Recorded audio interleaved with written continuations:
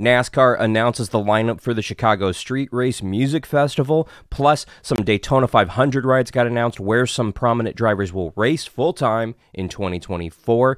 And Natalie Decker is back in the news. What latest drama has stirred up around her? We will break it down. And is this all in one sports streaming service really going to be what NASCAR fans need? And how much is it going to cost a year? High, high, high, push it, push it, push it, push it, checker flag. Hell yeah! What's the caution for? Me? It out, push it in? Stop anybody. Come on, you guys! You're waiting out, boys. One hell of a job, man. One hell of a job. Thank you so much. Hey, Gearheads, and welcome on into a Shifting Gears for a Thursday, February 8th, 2024. I'm Alan Bailey. Lots of NASCAR news to get to. It has been a week, and of course, make sure that you mash that subscribe button so that you don't go anywhere in 2024. And of course, you can always log on to arnrace.com for the latest motorsports news. ARN, the Motorsports Authority. I had to wear the What Happens on the Boulevard Stays on the Boulevard t shirt that I picked up at the Clash uh, over this last weekend because I know a lot of people are upset about the new Talladega logo. If you haven't seen it, this is the new Talladega logo. I actually like it. I think it's actually really sleek, modern, cool. I love the color scheme, obviously, and maybe I'm a little bit biased, but uh, I like it a lot. Never really a fan of the old Talladega logo. Everybody was like, oh, it was beautiful. Oh, it was perfect. Have you ever tried to print it on a t shirt? Or tried to read it if you're a non NASCAR fan? we we just have image association fond memories of it, but we'll get that back with the new one. Just back off NASCAR. They're modernizing logos, get over it, but come after me in the comments down below. I hated the old Talladega logo. Now that that's out of the way, and 90% of you probably rage quit this if you're over the age of 50, let's actually talk about NASCAR news, namely the Chicago Street Course. We know that they're back for a second year in a row. I'm really excited about it. If you haven't noticed, last year, it kind of, I don't want to say rained out, but it was the biggest rainstorm that Chicago had seen in like 100 years or something like that. It was ridiculous. Just happens to be NASCAR weekend. Of course, that's NASCAR's luck. But this year, they've once again announced their musical lineup, and it includes Keith Urban, the Chainsmokers, the Black Keys, and Lauren Alaina over the course of two days out there. I love it. This is a really cool mixture. Honestly, I'm just I'm hoping it gets in. I mean, the Chainsmokers were scheduled to uh, play last year, and it rained out unfortunately. And I'm really hoping it's not two years in a row, but we'll we'll have to wait and see. Something that we reported on Shifting Gears weeks ago that finally became official this week is the fact that Rajah Caruth is officially heading to the 71 Spire truck for the 2024 season full time. HendrickCars.com is going to be on the truck for 10 races. The fact that Rick Hendrick is taking interest in this guy says all you need to know about him. He is, in my opinion, the real deal. He's one of those guys that is going from being an iRacer to real life, and he's put the time in in the sim he's proven in the sim that he is capable, and in my opinion, he has proven on the racetrack he belongs. He's not a sim racer, he is a racer, period. And I do think he's going to win a truck race this year. I anticipate he will. I think he's going to make the postseason for the Truck Series this year, and one day I expect to see him in the Cup Series winning races contending for championships. That's how much I, I feel like Rajah Caruth is going to be a star in NASCAR. And on top of that, on Black Mamba Day, he's tweeting out things about how awesome Kobe Bryant was. I mean, this is a cool guy who clearly has his head in the right space. He's going to be great for this sport, and I cannot wait to watch his career flourish in the coming years. Keep an eye on Rajah Caruth. Corey LaJoie going to be in the number 7 truck at Daytona for Spire in the Truck Series. The 7 truck is essentially going to be that all-star truck that's going to have a different rotation of Cup Series drivers and probably an Xfinity driver here or there in it, um, but as well as some development drivers, and I like that for them. Uh, they're going to be racing a three-truck organization over there, and putting LaJoie in that truck gives it a good shot at winning Daytona, but it also brings some good sponsors along with it. This is a look at his truck for Daytona this year. I, I like it, I really do. Um, and again, Spire purchased the building and the assets of Kyle Busch Motorsports Truck Series program. Kyle Busch Motorsports is still in existence. They're just racing grassroots uh, with Brexton Busch and moved to a very, very, very, very, very, very smaller facility uh, at uh, Kyle Busch's home compound. So honestly, I, I'm excited to see what Spire does in 2024 in the Truck Series. They should, in theory, be winning races and making the postseason. Daniel Suarez also going to be heading down to the Xfinity Series for the Daytona race uh, this year. He's going to be driving the number 14 Wendy's car. This is actually kind of a cool car, but it's interesting. It is a Kaulig prepared car, but it is listed as the SS Greenlight team that's going to be on this one fine. I mean, this is the the trend with Kaulig. I mean, they they do the work but don't get the credit. I mean, or or get the credit and don't do the work with some of their drivers. It's just it's a little all over the place. I've talked openly about my issues with Kaulig racing and how I feel like uh, within the next two years, they're probably not going to be on the grid. I'm, I'm, I'm seriously concerned about them. I, I think that they're the team that's probably going to be selling one of their Cup Series charters here, uh, if not by the end of this year, sooner than that, uh, with how they're scrambling looking for sponsor dollars over there. And honestly, I, I kind of just want to see them drop back down to the Xfinity Series and be competitive down there because as soon as they took on a second charter and a second full time team racing for a championship, they kind of fell apart. They've run out of sponsor dollars. They're struggling over there. Maybe they turn it around, but I don't know, man. I'm concerned. Natalie Decker's in the news again, and I know you haters love to hate, but let's actually talk about this. She's going to be in the number 36 uh, DGM racing car at Daytona with AMP Fitness on the car. Uh, this was an interesting um, photo. I get what they were trying to do. It just doesn't come off as intimidating as I think that they were trying to do with the marketing team for this promo shot. But there was a little bit of drama around here on social media when fans noticed that one of her longtime sponsors jumped up into the Cup Series and sponsored the number 15 Kaz Grala in the Clash over the weekend. And people were saying, "Oh, they stole her sponsor," and Natalie kind of fed into that on uh, Twitter slash X, saying, "Yes, there are people who play dirty in this sport." Ooh. Uh, listen, let me go on a little mini rant here about sponsors in NASCAR for Miss Decker.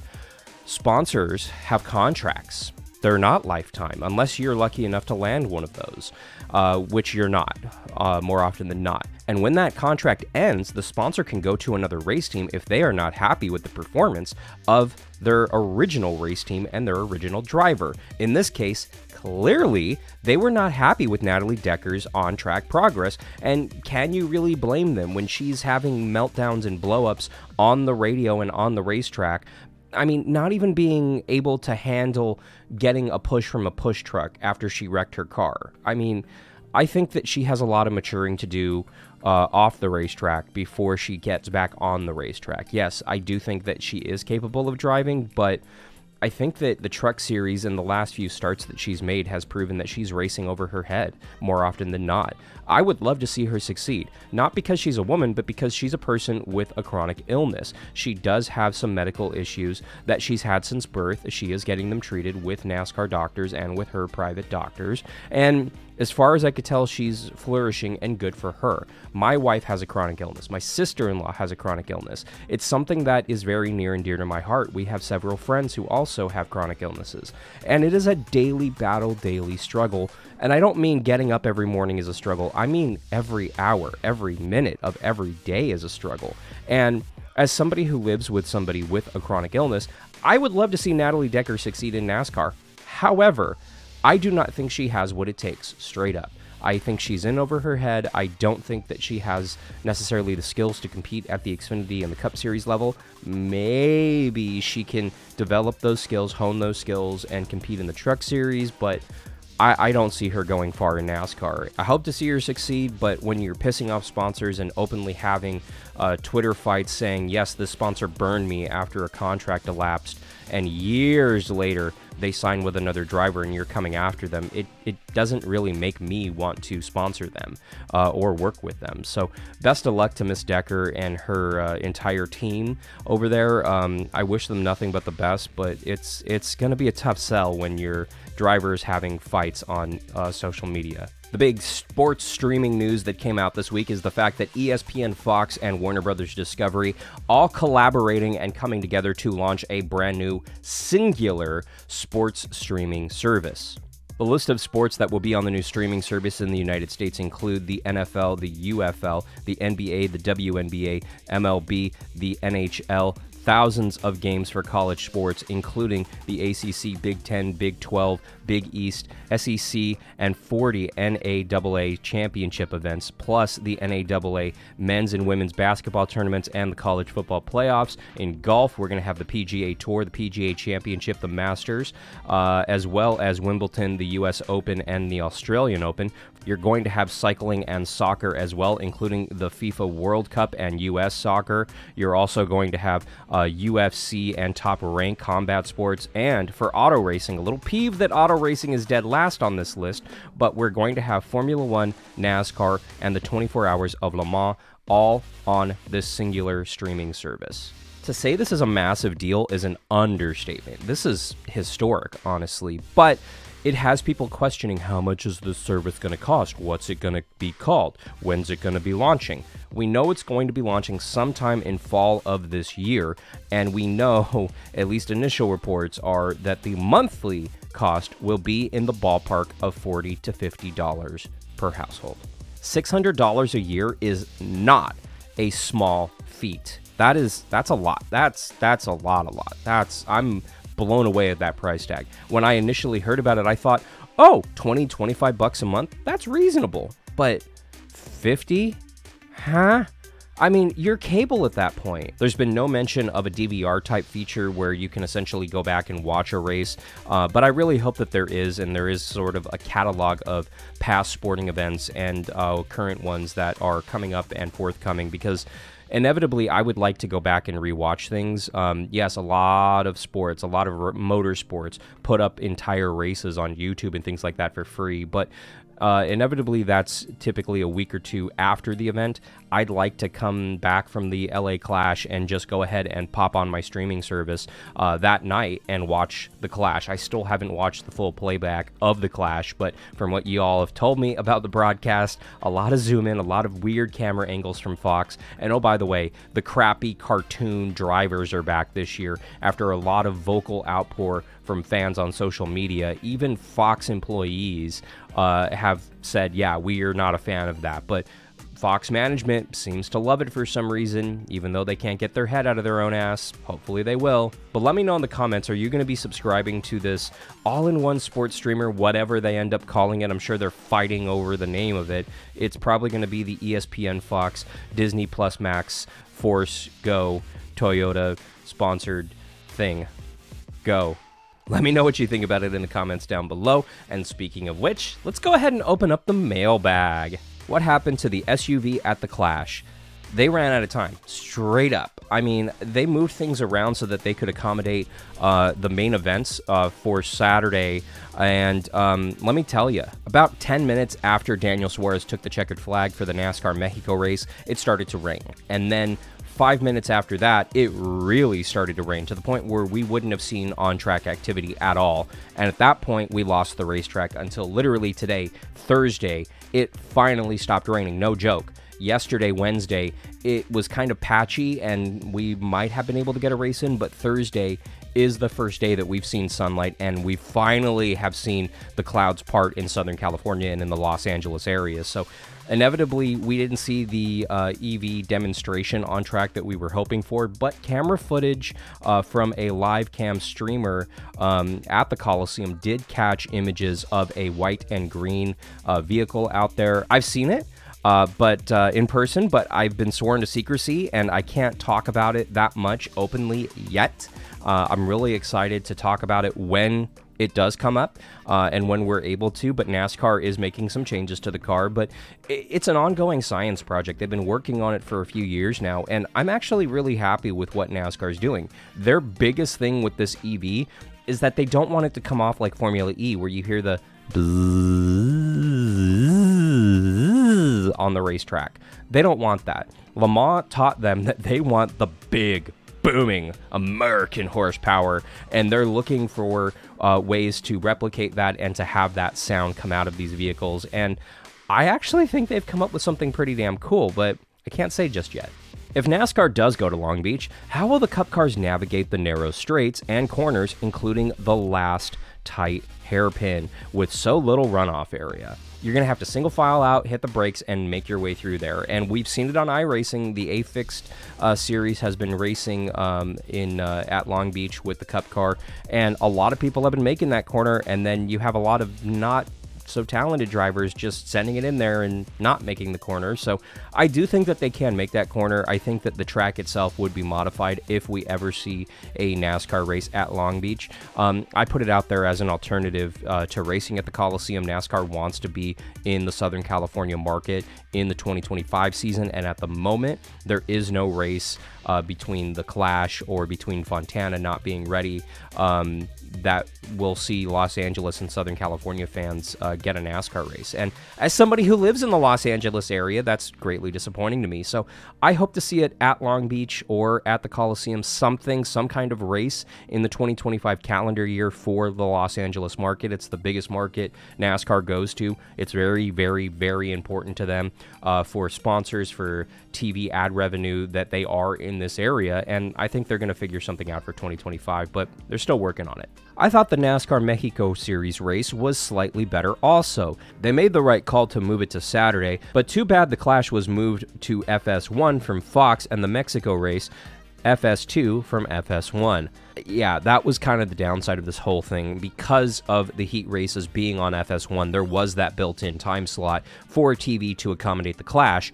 However, moving the race from Big Network Fox over to FS1 meant that you really, really, really uh, hurt the ratings, unfortunately. And I do think NASCAR was in a no-win situation here. I did do think that they did come up with the best possible solution. Uh, the ratings were in the 1.5 million uh, range for the Clash on Saturday night, um, but that was with a four-hour notice. I mean, if they were able to promote that thing and really hype it up as a Saturday race on FS1, I think it could have been 2.5 mil plus easily. Um, same thing with being in the Los Angeles area. Let me straight up tell you, when you hear something in Los Angeles, hey, come to this free event, it takes you a couple hours to get anywhere, and that's assuming you drop what you're doing and go. To ask anyone to drop what they're doing in any capacity on the weekend and be somewhere in four hours, I mean, could you do it? I don't think I could, honestly. You take away the fact that it takes two hours to get anywhere in the Los Angeles area. I, I think that that was a huge hindrance on it, really. Um, people have other things going on. It's right before a major rainstorm. So, in a lot of cases, a lot of people in the Los Angeles area, the Southern California area, were doing things like boarding up windows and putting sandbags down and doing things like grocery shopping and supply runs before the storm hit. And Monday and Tuesday, the roads were extraordinarily empty because a lot of people stayed home on Monday and Tuesday in Los Angeles. And um, there was some damages, there was some deaths, and a lot of the state lost power. So it wasn't a small storm, it was a big big issue here in Los Angeles, the Southern California area. So kudos to NASCAR for making the right call. I absolutely hate it uh, that this ha- th- this keeps happening to NASCAR, where it's not NASCAR's fault. They put races in areas where there's least likely amount of chance of rain, and yet the rain comes down in literally historic waves. This is the second largest uh, winter storm that has ever hit the Los Angeles and Southern California area what are the odds that it drops on the same weekend NASCAR's in town? Quick announcement uh, the schedule of new video releases for the 2024 season. We finally landed on something. Uh, new videos will be coming out uh, for NASCAR news every Tuesday and Thursday here for Shifting Gears. On Saturdays, we're going to have a rotation of different uh, videos that are coming out. Sometimes it'll be Diecast Download, where we talk about Diecast news, what I've got. I went to the LA Clash, and you can see some new diecasts that are back there on the shelf. Uh, we're going to be recapping those. Um, um, this Saturday in particular with a new episode of Diecast Download. But sometimes it'll be a historic race um, or even news if there's a big news event. Something on Saturday morning will be coming out. And on Sundays after the Cup Series race, you're going to see a race breakdown analysis video where we talk about what we saw over the weekend and kind of recap the weekend that was NASCAR. Uh, and that'll all be coming out here on the channel in the 2024 season. So make sure that you mash that subscribe button so that you do not miss a video. And you can also always always, keep up with everything motorsports Formula One, NASCAR, open wheel, uh, drag racing, supercross, motocross. It's all going to be on arnrace.com. You can log on right now. ARN, the Motorsports Authority. I want to thank you so much for watching all the way to the end. I'm Alan Bailey. We'll see you at the track.